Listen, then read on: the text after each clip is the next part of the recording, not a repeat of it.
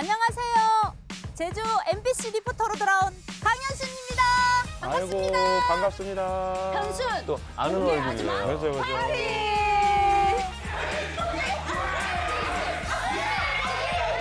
한국 사람 어서구나 니 우리 동서들 있지만은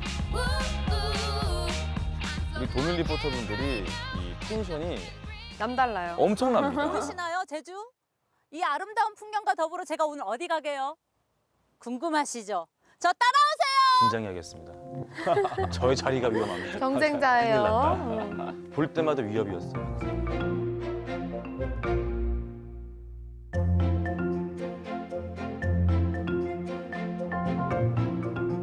안녕하세요, 선생님. 아우 정말 너무 반갑습니다. 네, 반가워요. 아. 저도. 작품들이 굉장히 다양해요. 네. 저 작품을 네. 보는 눈이 좀 없거든요. 좀 이렇게 좀 작품을 설명해 주신다면 특히나 막 마음에 가는 작품 있으세요? 이 그림은 이제 가끔 이제 사람들이 얘기해요. 어, 왜 고래가 숲속에 있냐, 아, 동화 같다, 뭐 이런 얘기를 많이 해요. 그래서 제가 사실은 제주도에 2001년도 내려왔거든요. 아, 예. 뭐 처음에 내려와서 사람들한테 길을 물어보려고 길을 모르니까 그 사람을 만날 수가 없어요. 오히려 이제 곤충이나 동물들을 자주 만나는 거죠.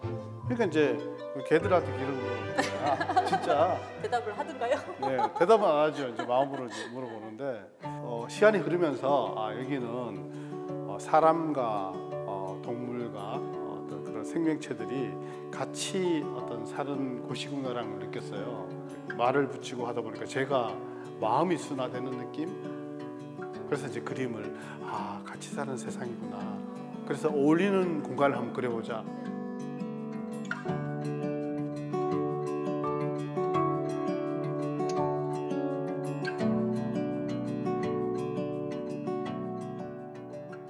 제가 그 제주도 와서 2001년도 고래를 처음 보고 3년 동안 고민을 했어요. 아, 저 고래가 가슴 속에서 꿈틀거리는데 이걸 그리려니까 아, 유천생 그림이 될 것 같은 느낌? 그래서 3년을 고민하다가 아, 나는 진짜가 돼야지 하면서 고래를 그리기 시작했거든요. 자연이 정말 그 아름답고 이뻐요.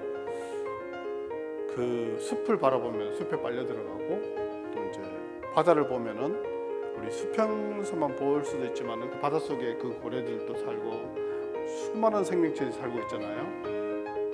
이게 아, 동화의 진짜 색감이 참 아기자기하고 너무 예쁘죠.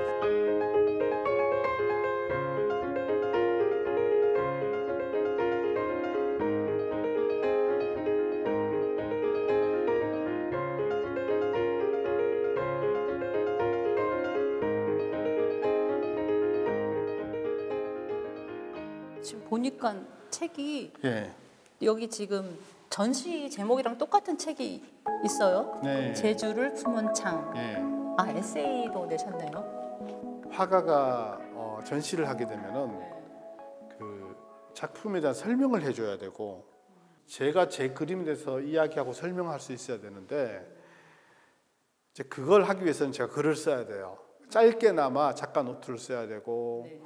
뭐 있었던 일에 대해서 써야 되고 한데 이제 김품창 제주 20년의 그림 일기하고 글을 썼어요.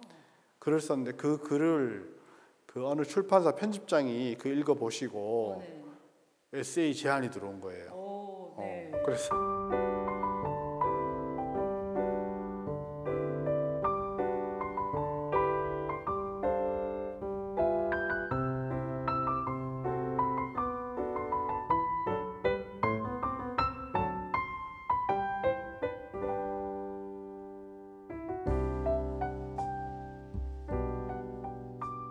저희가 서울에서 남편이 이제 그림을 그리고 직장 돈을 이제 벌러 다니면서 어느 날 갑자기 제주도로 가야겠다. 그럼 제주에 가자 이제 그땐 젊은 헬기로 왔는데 막상 먹을 게 없으니까 그러면 뭘 해야지 먹고 살까? 저는 이제 글 좀 쓴다고 하더라. 그래서 동화 작가가 된 계기도 공모전에 공모하면 그때부터 문학상이 있더라고요. 그 상금 타려고 이제 공모를 했다가 등단을 하게 되고 이제 그게 저한테는 계기가 된 거죠.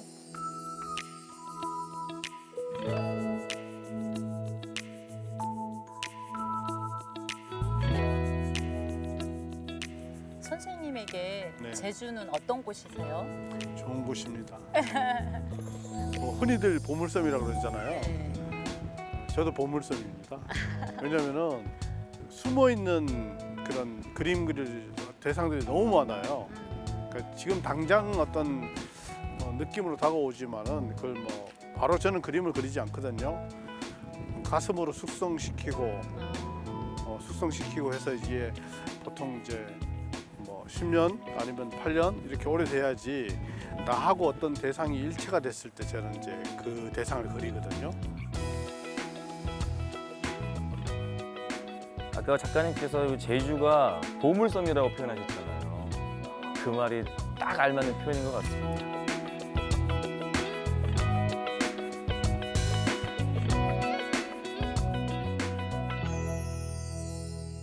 제가 처음에 제주에 왔을 때 지금 음, 나는 무엇을 그리겠다가 아니고 그 다음에 어, 바다를 그리게 됐고 그 다음에 2014년도에는 뭐 곶자와를 그려야겠다 이거는 아니었거든요.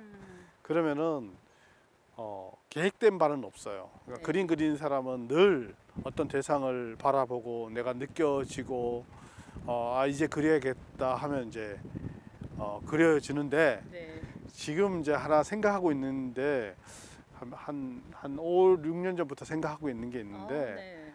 어, 그거는 제주도의 이제 겉모습이 아닌 속모습을 한번 그려보고 싶어요. 와.